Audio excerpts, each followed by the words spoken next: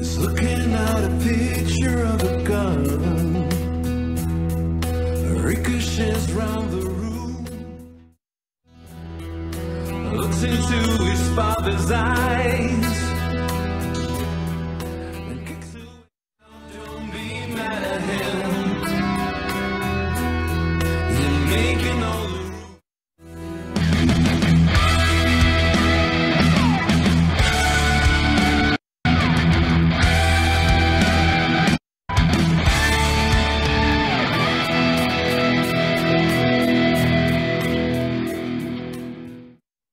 Thanks for tuning into Border City Rock Talk. We get great news, great interviews, great interviewees with sometimes a comedic touch.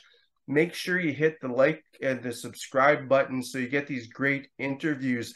And everybody, if you're wondering, George Lynch is fine, healthy, dandy. He's coming on the show on Monday Oh yeah!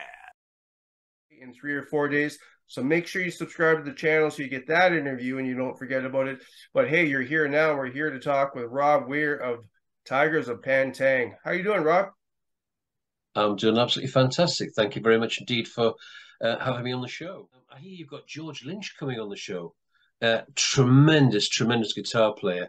Lynch Mob, um, I've got to say, is probably one of my favourites, uh, favourite bands, uh, particularly uh, Wicked Sensation. Um, that that that their you know their first album which they brought out um, was it, it, was on my turntable probably non-stop. Um, I absolutely loved. Uh, that, that collection of songs is just brilliant.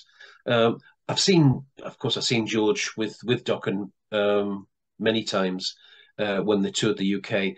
Never seen uh, Lynch Mob, unfortunately, but um, you know, I'm I'm, go- I'm going back to, to when they all had big hair and uh, and uh, we were all a little bit younger. Yes. Um, I remember remember seeing them at the Newcastle Mayfair uh, and was absolutely blown away by his guitar playing. Um, uh, yeah, that was a that was a good night. So uh, yeah, yeah, that'd be very interesting to to hear what he's and of course he's he's got a thriving guitar business as well, which is very interesting. Yes, I'm going to ask him about that, and then I'm definitely going to ask him a, a question we talked about not on the air about. Um, I, I don't want to to let the cat out of the bag for the viewers, but we talked about um, a different instrument being incorporated into the um, one of the songs.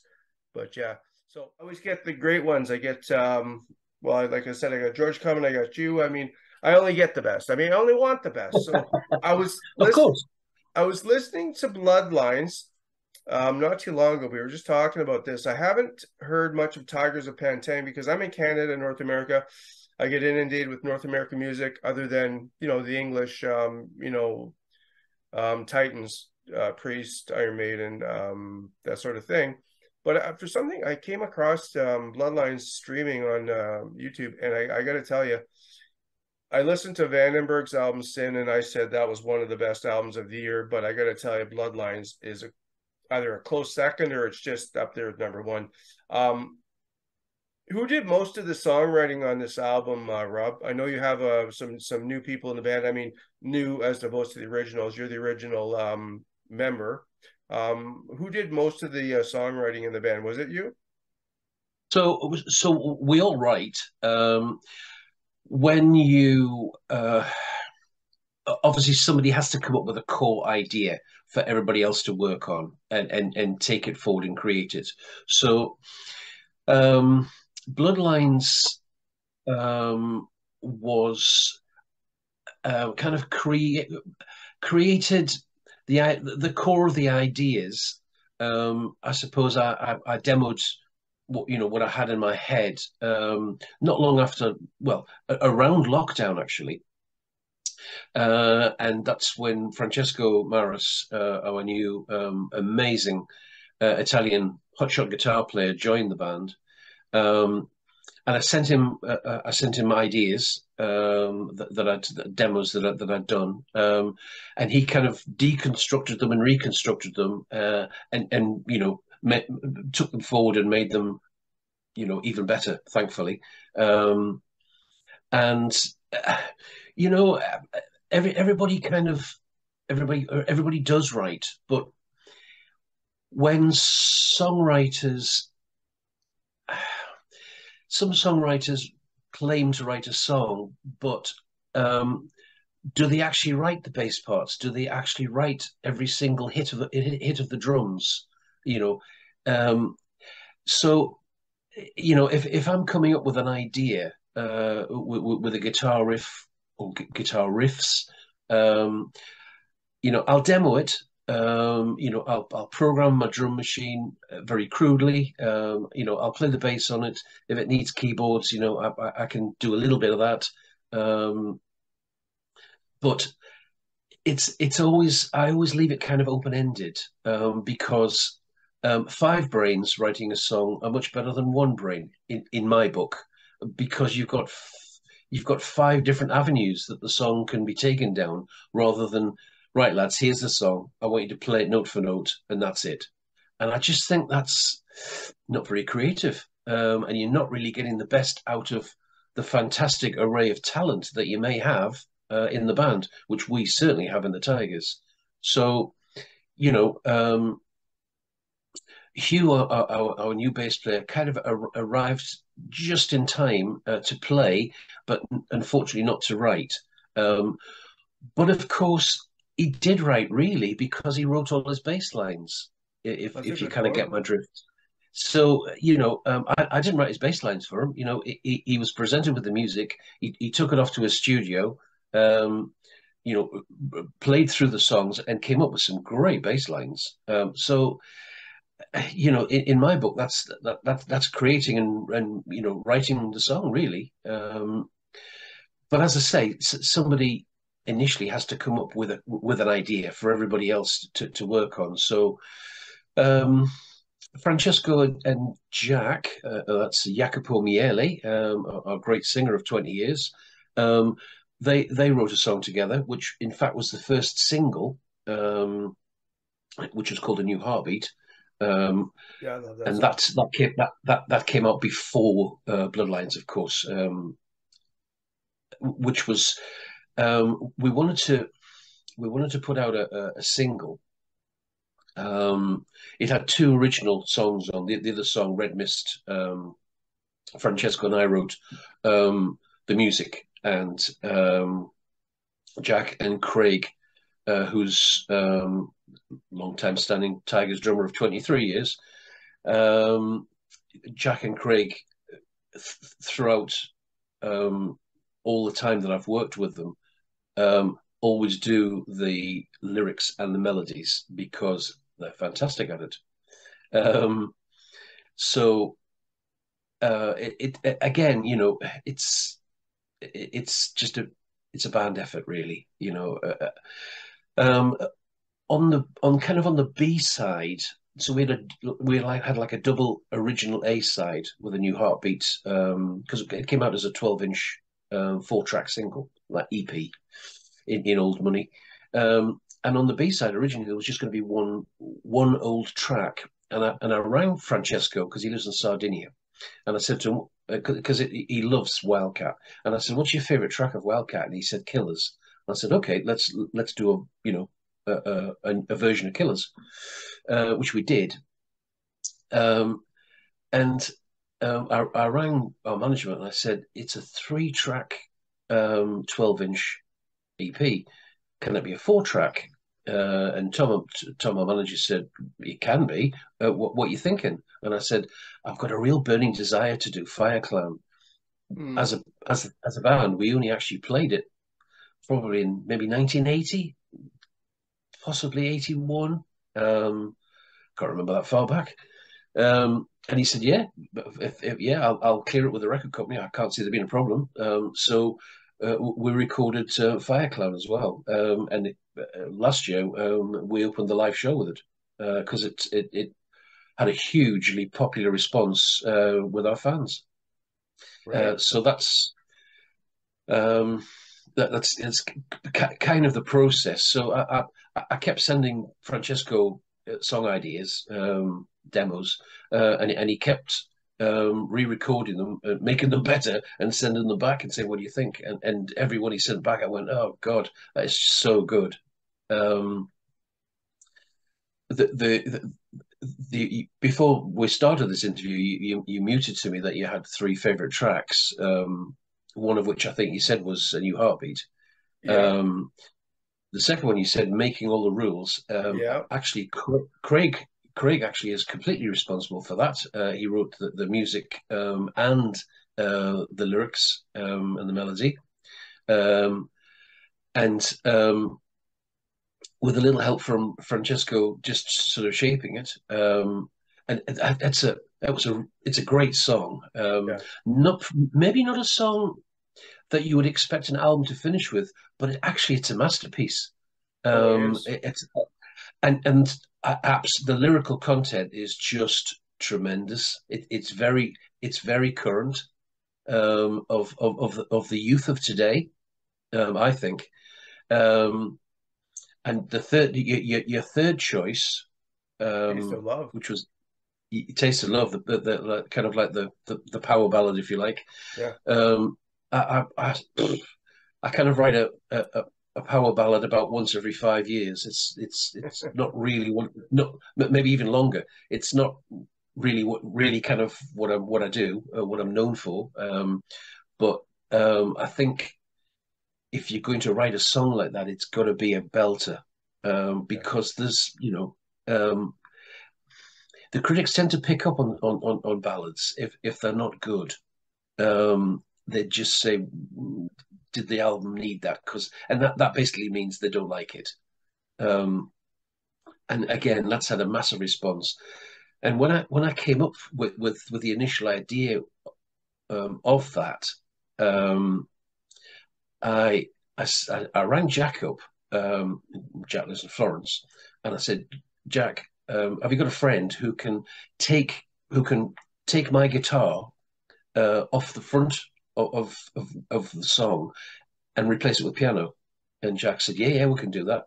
Uh, and that's exactly what he did. He, he got one of his um, fantastic uh, Italian musicians that he works with, um, and um, you know that that's why it's got piano on it. Um, and there's absolutely no reason why, although we don't have a piano player in the band, of course, but there's no reason why you can't have, uh, you know, piano on a song, um, Right. or, or, you know, on, on a hard rock song. Um, but I think it works incredibly well. And again, that, that, that that's another amazing lyric uh, and, and and melody as well. Um, take a look at yourself. Um, you know, do, do you like who you see? Uh, it it is quite uh, you know thought um, uh, um, Provoking. Yeah, it is. Yeah, it, absolutely. Yeah. So that that's that's kind of how the songwriting process goes, and and and will you know and and will continue. Awesome. You said you said a whole bunch of things I'd like to allude to. First of all, kids, go down to the description box after the interview because I um, originally um, did like um, um, a little um, video where I said basically it was like guess who this uh, rock song guess guess who is playing this great tune and it's Taste of Love and you would you wouldn't know it until you started listening to, and clicked on the YouTube link. So I have that in the description box. Check that out. It's such a great song. Um, we're talking about you said um, to end an album with um, making all the rules is um, kind of an interesting choice to have it at the end. And I thought, well, Hmm. if you look at um, I always try to bring in different things. I don't know. I'm just quirky that way. But if you're in a mall complex in North America, you have a mall where you have an anchor at one end, like a Walmart, and then another anchor at the other end of the mall is like a, like I don't know a Costco or a Sears. You have that, and that's you need those, or it's not going to work. So I think you putting a great song at the end, a great song at the beginning, and all the other great songs in the middle is just um, dynamite. Um, and so dynamite that Bloodlines, I think it's almost at thirty thousand streams already. Yeah. Oh, yeah. It, uh, it's it's it's pro- probably a bit more than that. Yeah. It's it's done. It's done extremely well. Um, and our press office, um, Fernando, uh, who who runs the press office, um, I can't remember ever having as many reviews of the of, of the album. Um, there's well over well over a hundred uh, reviews from from from all around the world um, of people um, you know th- that have wanted that that have asked to review it, um, that have wanted to review it, and and uh, that's you know that that's just incredible, really. I, I, I can't remember us having that many reviews. You know, back in back in the day, as they say, you know, when we were signed to MCA, um, you know, um, 79, 80, 81. Yeah, you're with Mighty Music now, which is obviously picking great talent, and I hear great things about Fernando. I'm gonna be getting Mm. hold of you, Fernando. I'm sure we can make that happen. He's uh, he, he's a good boy. Yeah, and I just want to thank you in advance for that guitar lick that uh, you'd sent me. So that's great. The viewers obviously love that. Now, coming up with shows, you've got a couple shows left this year, but then you're going to be on my side of the pond in the new year at the 70,000 tons of metal. How how cool is that? Yeah, that's just uh, absolutely fantastic. Um, it's uh, we fly out to Miami, I think, on the 27th of January. Um, not that we're all excited and got our cases packed. Um, we have. Um, so yeah, um, yeah, we, we arrive. I think I think we arrive about 10 o'clock at night, uh, and then the next day we'll jump on this massive cruise ship. Um, it's the 60 bands. Um, every band plays, and, and we set sail down to the Caribbean, and every band plays once on the way down. Um, it's two two days to sail down. Uh, I think we get a day there, and and then every band plays again. Um, but, you know, two days to sail back. So uh, it's it's going to be absolutely tremendous, absolutely awesome. And then you're going into the studio uh, later in the year for another album. Um, I'm gonna retouch Well, we're, base. We're, we're- yeah, we're right. We'll we'll we'll, we'll be, we'll be um, we're right. We, we write constantly, but that's but, it's it'll be a more concerted effort to to produce demos um, to send to, to send to our record producer because we, we will actually be recording the next album. Uh, will that, that'll be twenty twenty five. Okay, perfect. Well, it gives you time to tour and uh, tour on the on Bloodlines. I mean, everybody's Yeah, gonna want see absolutely. you guys live. That that, Um, that needs to be done. Yeah. Before I forget, I mean, I'm I, I'm not a lawyer, but I mean, um, it it dawned on me you let the cat out of the bag. Now you were saying that Huey or Hugh, um, Mhm. you kind of figure he did write some of the material. So is he going to get royalties now? Uh, um, I'm bugging. I'm bugging, Robb. Well, well we, we, we might buy him a couple of um, cherry brandies, but you know he's um, Buy him a, you, you, you, you've you've got to keep you've got to keep you know you've got to keep talents uh, you know where where, where it needs to be. keep them happy. Yeah, I mean, just um, if you're a fan of The Simpsons, um, buy him a flaming Moe's or a Duff. a Duff beer. Yeah, I'm sure he'd be very pleased with that. Yes. Um, so going on the two, on the seventy thousand uh, cruise, what bands? Um, and, and I'm sure you've looked over the lineup. What bands are you interested in seeing yourself when you guys are there? Um, I've, I'm, I'm, I'm very open to, to, to, to watching anything really, um, particularly if I've got a Jack Daniels in my hand. Um, and if, anybody, if anybody's watching this that's going on the cruise, um, uh, f- feel free to, uh, to buy me one. Uh, that would be very uh, very generous. Um, Well, us musicians are all, us musicians are all poor, you know. Um, we, we always plead poverty. well, I mean, these days it's harder to make a buck in the industry, and it just shows how Um, dedicated you guys are to your um sport, for a better word, your art.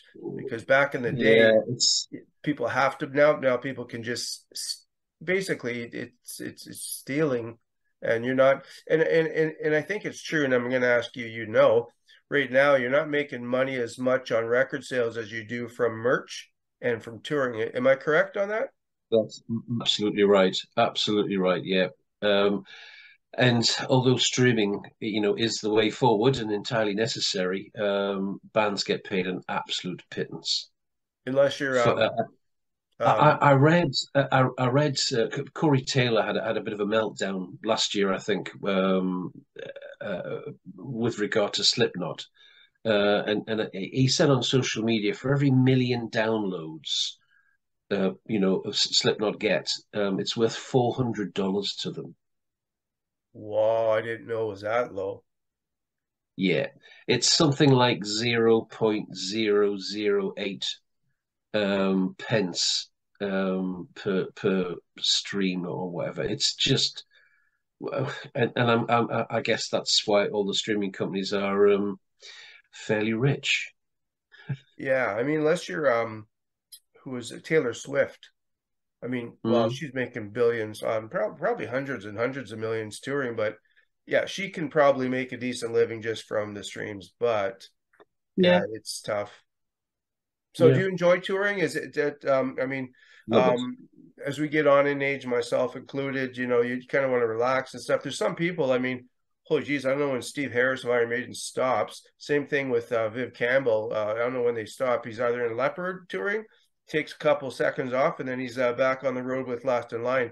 Do you still enjoy the touring as much in the travel, or is it you like the touring, you Yeah. like the fans, but the travel, it's No, don't mind the tra- don't mind. uh, I love it all, and I feel quite um, um, privileged and blessed still to be able, you know, to, to, to be able to do it, and for for the band to be as you know still as successful as as it is. Um, that's and, and that's that's down to obviously you know these wonderful people um, coming out, you know, and spending their money. What I what I really really gripes me and, and, and I disagree with is um, bigger bands um, that um, have decided they want to charge their fans a premium um, to, you know, so, so you buy your ticket for whatever money um, and then you get offered, you know, this um, 20 minute window um, with, you know, with, with a load of other people um, to, you know, meet the band and um, I, I, I don't know what it I don't know what it gets you, but it but it can amount to hundreds and hundreds, of course, of of, of pounds or dollars. Yeah. Um, and I I just think that's inherently wrong, because a a these big bands do they really need all, all, all that you know, all that extra money? If you're gonna be honest and true to your fans and reward them, then why don't you do it for free before the show? Yeah. Why, why, why, why don't you have a, you know, have a draw and, and invite 200 lucky people for, for half an hour to a sound check or something, or, or you know, and, and, and do it, do it nicely like that, rather than invite them and say, that's another $500. Thanks very much. Yeah, pull it, I- I- do I Sammy Hagar, where you get 200 fans, they pull them out of the hat, and then they can stand behind uh, where the drummer and everything and watch the show, uh, you know, like this. I mean, that that was that was brilliant when Sammy did that. Yeah, I, I just think that you do good stuff like that. Don't because at the end of the day, who's put these bands, the, you know, you know, these big bands in this privileged position? It's the fans Yeah, by, by buying the product. So so why why why rip them off and and, and take more money off them?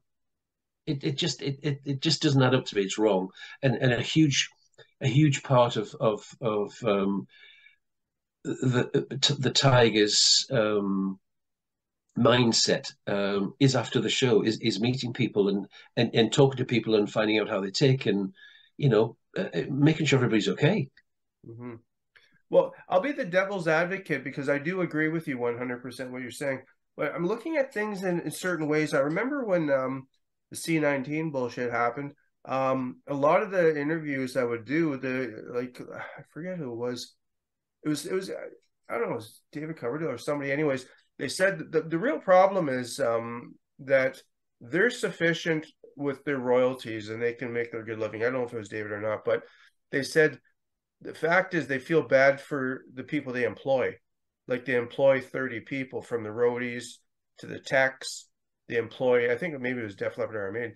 They employ all these people, like 70, 50, 80, 80 people. And he says, those are the ones that we feel bad for when we can't tour because of this, you know, this thing that happened in 2019 and went on. And that's feeling bad. So what I'm trying to digress to, I always have a long-winded sentence. I should have been an author, but I think a lot of these bands, maybe I could be wrong, aren't doing this because they want to, but maybe it's their their agent wants to make more bucks for themselves and that sort of thing. Because if you look, at, are you are you into sports? Are you a, a fan of sports, Robb? Mhm. Okay, so Yeah. look, take this for instance. You've got um, I'm in Canada, so hockey's the um the primary sport. You got a hockey player that's worth um four million dollars and then you see things where they're not going to negotiate they want 7 million and and the average person like me uh, would say, you know what's wrong with you people? You're you're greedy, like this is disgusting. And then you kind of find out through the back door that the agent is kind of egging them on and saying, oh, they're treating you like shit. Oh, they don't think you're worth that. And it's because the agent's getting another quarter of a million dollars if he can get another two million dollars onto that. So maybe that's the same thing with these bands doing this extra fee. It's they'd rather not do it, but they're following direction from management. I, I don't know. Do, am I on anything, or am I just a, loose cannon here? mm, uh, uh, I think if okay, so how I would answer that is um, the band um, would employ the manager. The band would employ uh, the agent. So Enough, yeah. who who's the boss? Yeah, that's a good So, point. so, so, so the band just roll over and go, yeah, okay, yeah, yeah. If, if you want a bit more money, then then we'll help you get it. That's absolute rubbish. It's Yeah, that's okay. just not. So somebody should have some balls to stand up and say, "Hang on a second here, no, you know, you you, you get your percentage from us, you know, you know, whatever. That's that, that's that's how it is, and it's because of all these lovely people that you know could spend their money on any band, you know, on any night, but they've chosen to spend it on us. Then you know, let's let let's let's play the game and be fair. That's Right. that that's the way I feel. Well, I think you're very accurate, and I think you're very um you're onto it. So no, that's I, I I truly appreciate your perspective. Um, before I let you go, um, just Hmm. wanted to ask you favorite Canadian band, past, present, or future. Well, yes, I can't say future. Oh, yeah, yeah. Um, well, you know, um, Bryan Adams is is uh, I've always thought that, that that guy is just oozing with talent. Um, great rock voice. Um, I put, you know, my, one of my favorite. Um, I mean, I, I like Run to You and all that kind of stuff, but I, my my kind of favorite album is uh, is when he had that association with Mutt Lange uh, and it, it's it's a double it's a double live album, and I've actually I've actually got it in my um. It's called. I'll, I'll just one second. It is Yeah. called. Um, mm, it is called "Waking Up the Neighbors." Yeah, can Um, Canadian. Well, Mutt Lange, what he- what a talent he he- is, right? Look what he's done. Yeah, oh, every absolutely. genre he, of music. he almost turned Bryan Adams into Def Leppard, almost. What? Um, but it, but it's still well, yeah. If you listen to the album, it's it, it's you know he, he kind of has the, the the the Leppard drum sound and um, uh, that kind of sort of vocal sort of thing that that, that he uh, that, that he sort of invented with them. Um, but it, it's it's but it's it's Bryan's Bryan's songwriting, of course. So it's it's great, uh, and the album rocks like a like like a mother. It, it's really really good. I like I it. thought you said Mutt almost got Brian into Def Leppard. I'm like, what? Here's No, Blabbermouth no. uh, gossip. No, No, no, no, no. Just just the production style. Yeah, Yeah. for sure. I mean, and look, I mean, just uh, stay out of Mutt a bit. Um, another Canadian, um, well, Mutt kind of reformed the country industry with what he did with Shania Twain. Another Canadian.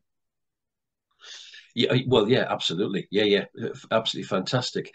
Wh- Where I- now, uh, maybe you can answer this, um, or or maybe fastest fingers first. Maybe the, the listeners can can Google it as well. When we were signed to MCA, they had a great a, a great band called Trooper. Oh yeah, Trooper, Flying Colors, um, Boys in the Were Bright they White Sports? Santa Maria, Were they Canadian? Raise a Little Hell. They certainly are Canadian.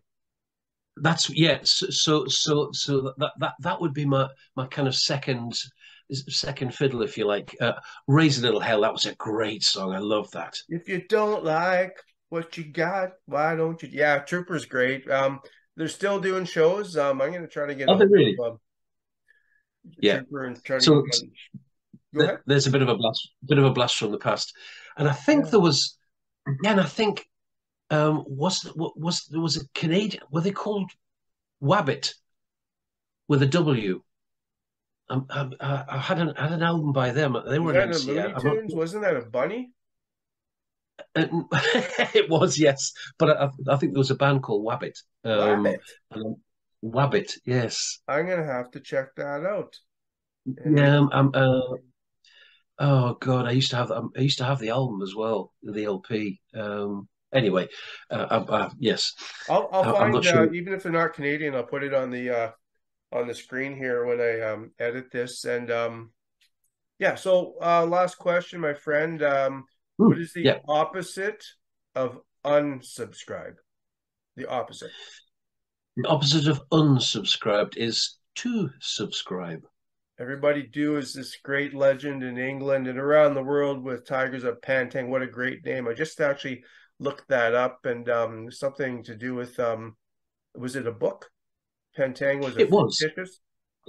It, it well, the, the the book was a series of books written by Michael Moorcock, who was quite a famous fantasy, fantasy science fiction writer in the seventies.